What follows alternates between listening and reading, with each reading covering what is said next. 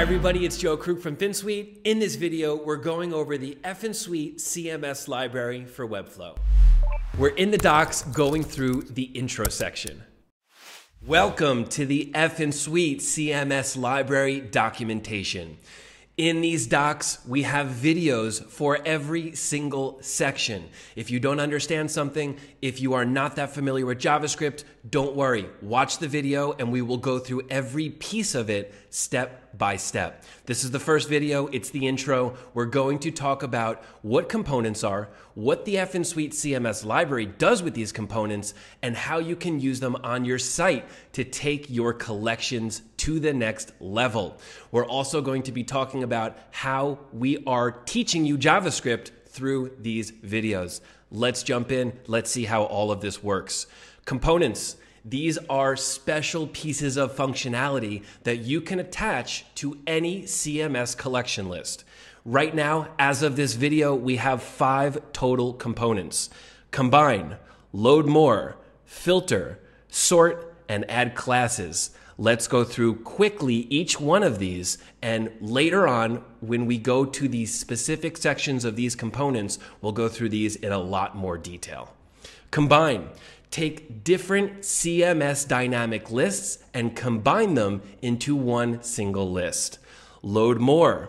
Take a dynamic list, put pagination on it, and load those new items underneath the existing items, not on a page two. Filter. Set up very custom and complex filter systems completely integrated with Webflow CMS. Sort is going to allow you to sort through items inside of a single collection list. And add classes is going to allow you to add unique classes inside the same dynamic list. And as you can see, we have more coming soon. We're already working on component number six, and we want to actively grow and manage the Effin Suite CMS library.